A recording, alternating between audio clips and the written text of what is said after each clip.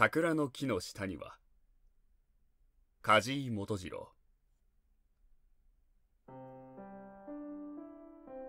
桜の木の下には死体が埋まっている。これは信じていいことなんだよ。なぜって桜の花があんなにも見事に咲くなんて信じられないことじゃないか。俺はあの美しさが信じられないのでこの23日不安だった。しかし今やっとわかる時が来た。桜の木の下には死体が埋まっている。これは信じていいことだ。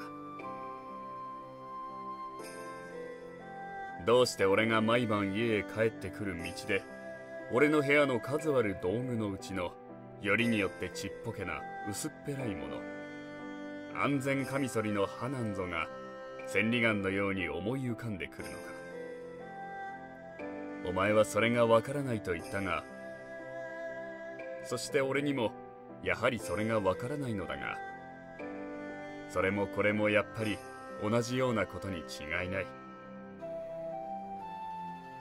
一体どんな木の花でもいわゆる真っ盛りという状態に達すると辺りの空気の中へ一種神秘な雰囲気をまき散らすものだ。それはよく回った駒が完全な静止に進むように。また音楽の上手な演奏が決まって何かの幻覚を伴うように。灼熱した生殖の幻覚させる五行のようなものだ。それは人の心を打たずには置かない。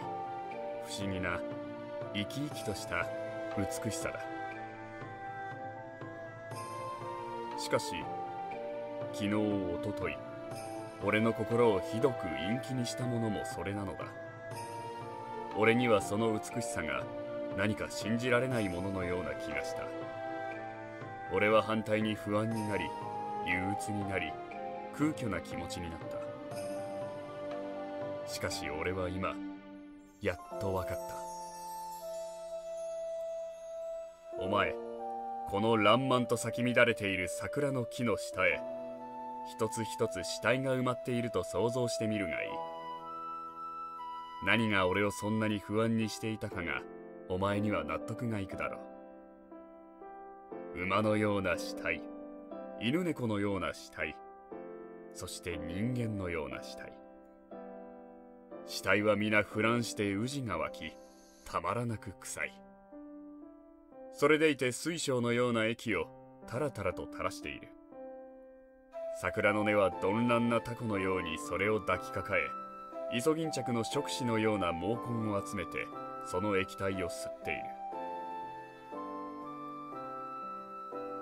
何があんな花弁を作り何があんなしべを作っているのか。俺は毛根の吸い上げる水晶のような液が静かな行列を作って異観測の中を夢のように上がっていくのが見えるようだ。お前は何をそう苦しそうな顔をしているのだ？美しい投資術じゃないか。俺は今ようやく瞳を据えて桜の花が見られるようになったのだ。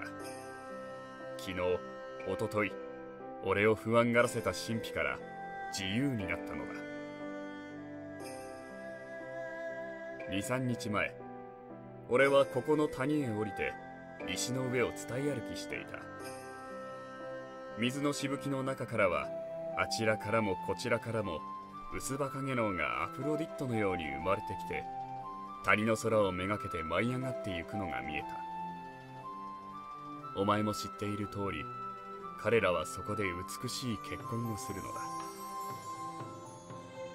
しばらく歩いていると俺は変なものに出くわした。